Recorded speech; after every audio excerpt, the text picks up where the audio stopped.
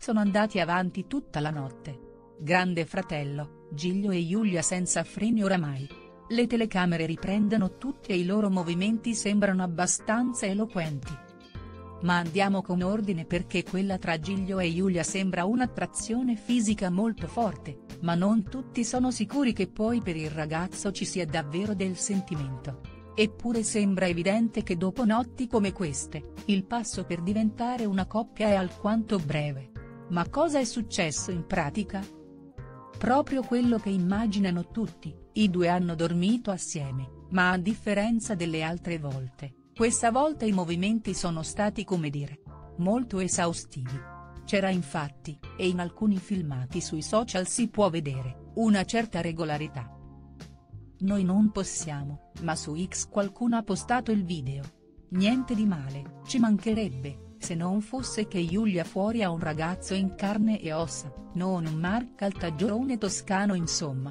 Quest'ultimo le avrebbe regalato un anello da 50.000 euro, a dire della giovane. Grande fratello, Giglio e Giulia senza freni, avanti tutta la notte, si tratta di un quarantenne toscano fuori dai giri televisivi.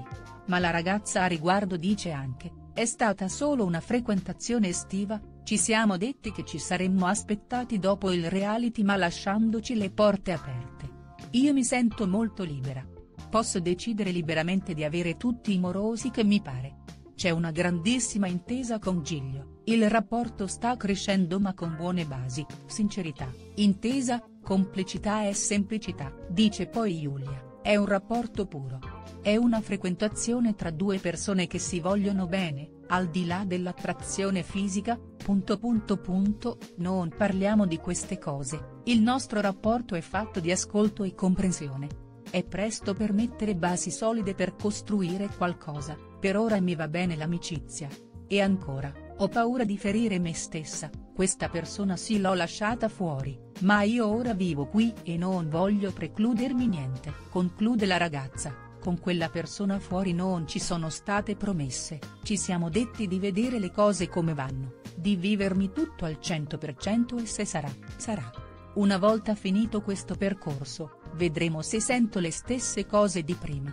Adesso non le sento. Voglio pensare a me stessa.